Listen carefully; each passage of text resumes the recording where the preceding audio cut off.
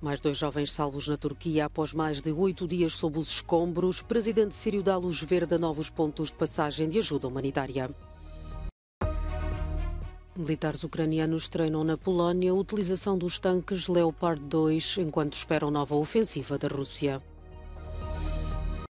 Visões contraditórias na reunião da NATO em Bruxelas. Ucrânia quer caças e mísseis, mas essa não é a prioridade da Aliança Atlântica.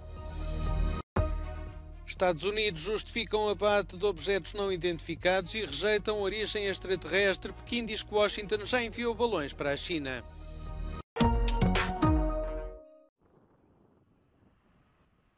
Após 198 horas presos sob os escombros de dois edifícios na cidade turca de Kahramanmaraş, foram resgatados dois jovens. Um momento de esperança quando na Síria o presidente concordou abrir dois novos pontos de passagem da Turquia para uma região que está sob controlo dos rebeldes no noroeste sírio. Entre a Turquia e a Síria, o número de mortos continua a aumentar e ultrapassa já os 37 mil. No terreno prosseguem as buscas. Nesta corrida contra o tempo, as equipas de socorro procuram ainda sobreviventes presos entre os escombros. Na segunda-feira, assistia-se ao salvamento de Hussein Berber, mais de sete dias depois do sismo.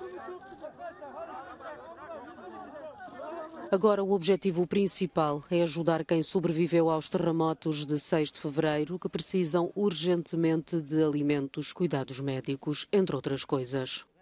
Enquanto na Turquia voluntários de todo o país se mobilizam para ajudar os milhões de sobreviventes, há uma crise mais difícil de resolver, a das muitas crianças que perderam os pais nesta tragédia.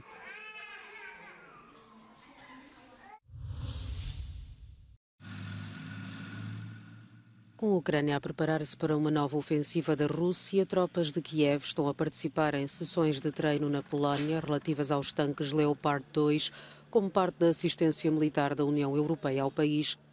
Varsóvia está entre os apoiantes mais ativos da vizinha Ucrânia e impulsionou as nações europeias a fornecer este tipo de equipamento militar. É provável que a Rússia tente defender território que anexou ilegalmente no final de setembro e onde reivindica que o seu governo é bem-vindo. Imagens do antes e depois mostram a destruição da região de Donetsk, onde as tropas do Kremlin estão atualmente envolvidas em combates. A Rússia afirma também ter tomado a aldeia de Krasnahora, perto de Bakhmut, mencionando a presença de unidades de assalto voluntárias, uma rara confirmação por parte do exército russo do envolvimento de combatentes do grupo paramilitar Wagner. Na cidade de Kherson, que em tempos esteve sob controlo russo, precisa-se urgentemente de médicos voluntários. Apesar dos incessantes bombardeamentos russos, os residentes veem-se obrigados a sair dos abrigos para procurar o tratamento de que precisam para doenças crónicas negligenciadas durante a ocupação russa.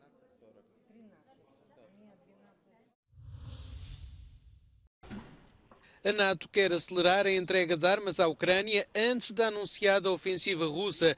Por isso, os Estados-membros da Aliança Atlântica reúnem-se esta terça-feira em Bruxelas. Kiev quer mísseis de longo alcance e aviões de combate, como disse o ministro da Defesa ucraniano à chegada à reunião.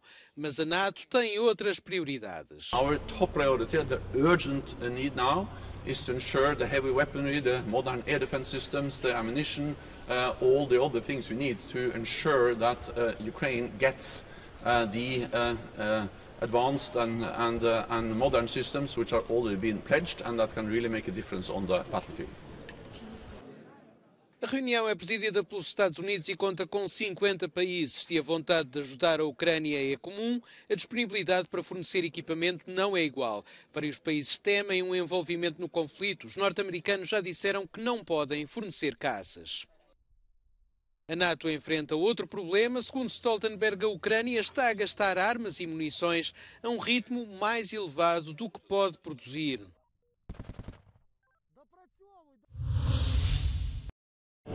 Já se esperava uma conclusão dolorosa, mas os números falam ainda mais alto. Nas últimas sete décadas foram abusadas sexualmente mais de 4.800 crianças no seio da Igreja Católica em Portugal.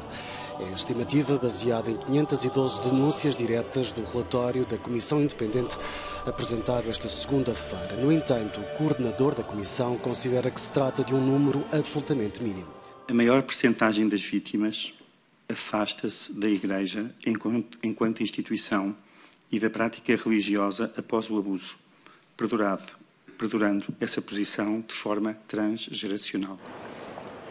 O documento reporta que a idade média das vítimas no início dos abusos é de 11 anos. Foram encaminhadas para o Ministério Público 25 denúncias. No dia 3 de março está marcada uma Assembleia Plenária da Conferência Episcopal, presidida pelo Bispo José Ornelas, para analisar as implicações do relatório. O responsável já reagiu às conclusões, dizendo que é uma situação dramática que não é fácil de ultrapassar.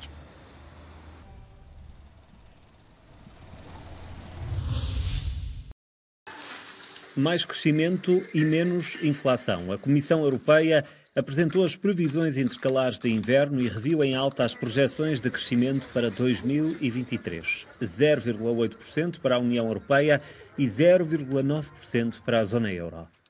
Em ambos os casos, deverá evitar-se a recessão técnica, mas Bruxelas alerta que os ventos contrários à economia europeia continuam a ser fortes. O comissário europeu, com a pasta da economia, disse à Euronews que a resposta conjunta é a chave para se evitar maiores problemas.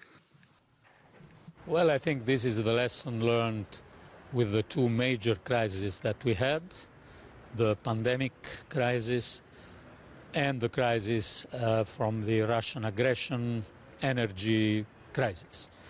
Uh, we showed that a common response, next generation EU, uh, the SURE mechanism, what we were able to do together on the energy um, independence was um, effective and made possible to have a better economic outlook. Por outro lado, Bruxelas reviu em ligeira baixa as projeções da inflação. Estima-se que, uma vez ultrapassado o pico do aumento dos preços, se fixe nos 6,4% na União Europeia e nos 5,6% na zona euro. Mas ainda vai demorar algum tempo até se recuperar parte das perdas do poder de compra. Tudo está também dependente do não agravamento da guerra na Ucrânia e das tensões geopolíticas mundiais. The risks are connected to uh, the, the Russian invasion, the war, the consequences on energy. Um, and this also in Europe triggered high inflation. Also, if now we know that inflation is not only connected to energy prices. So, this is the bigger risk that we have to face. So, if we continue with common response, I am sure that we can also um, count on better outlook than the one we presented today, which is better than expected, but not yet a quite positive outlook for the economy. As perspectivas também são mais otimistas para Portugal. Bruxelas aponta para um crescimento da economia portuguesa de 1% em 2023. A inflação continua alta, mas deverá abrandar durante o ano, estimando-se que se fixe nos 5,4%. O mistério dos objetos abatidos no céu da América do Norte nos últimos dias está a azedar as relações entre Washington e Pequim. Quanto ao primeiro, os Estados Unidos dizem ser um balão espião enviado pela China. Quanto aos outros três objetos, ainda não há certeza sobre a origem ou função, mas a Casa Branca diz ter certeza sobre uma coisa: vêm deste planeta. Okay. I know there have been questions and, and concerns about this, but there is no, again, no indication of aliens or extraterrestrial activity.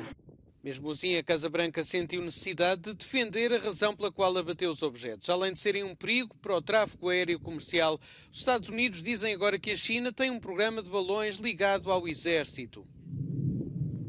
Even though we had no indications that any of these three objects were surveilling, we couldn't rule that out. And so there, you know, you want to err on the side of safety here in terms of protecting our national security. Pequim rejeitou inicialmente os argumentos dos Estados Unidos. Agora diz que Washington foi quem primeiro enviou balões para o seu espaço aéreo. 美方气球非法进入别国领空，也司空见惯。仅去年以来，美方高空气球未经中国相关部门批准，十余次非法飞越中国领空。 美方首先要做的，应当是反躬自省、改弦更张， 而不是污蔑抹黑、煽动对抗。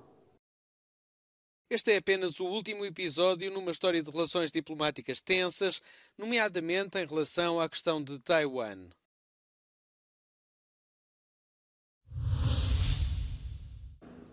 Foi uma noite de angústia que se viveu na Universidade Estadual do Michigan, nos Estados Unidos, cenário de um tiroteio em massa que fez pelo menos três mortos e cinco feridos. O suspeito, identificado como um homem de 43 anos, alvejou várias pessoas e fugiu.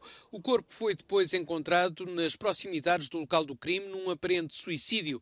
O estado de vários dos feridos é muito grave. I can confirm that there were at least five victims. All five victims were transported to the hospital. Some of those victims do have life threatening injuries.